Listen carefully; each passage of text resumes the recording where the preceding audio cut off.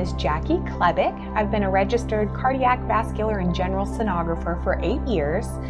I'm at National Ultrasound here today on a Vivid E9 using the M5SC Echo probe. Um, and today I'm going to be showing you some of the post-processing features on this Vivid E9. So if you've already taken images for a patient, I have one pulled up and you want to change um, some of the features after the fact, such as the gain or even the color map, maybe on a more difficult patient to see the walls better. Um, you can go ahead and click on it um, and you can change the 2D gain.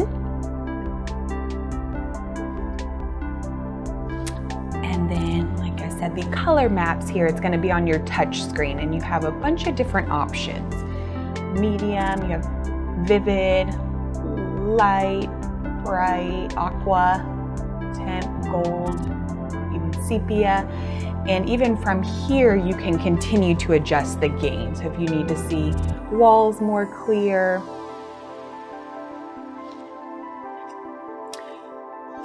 And then another option when you go to um, a pulse wave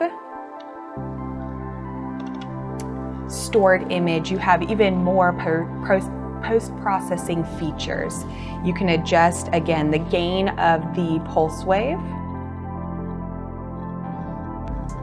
You can adjust the gain of just the 2D and the image above.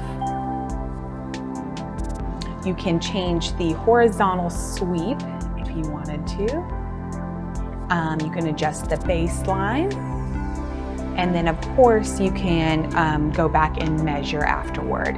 Um, so if we're here with our EA velocity, click on folders, mitral valve, EA,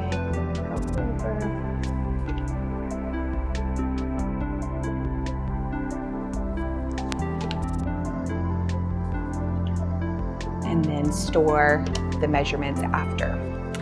Thanks for tuning in. Like and subscribe for future content.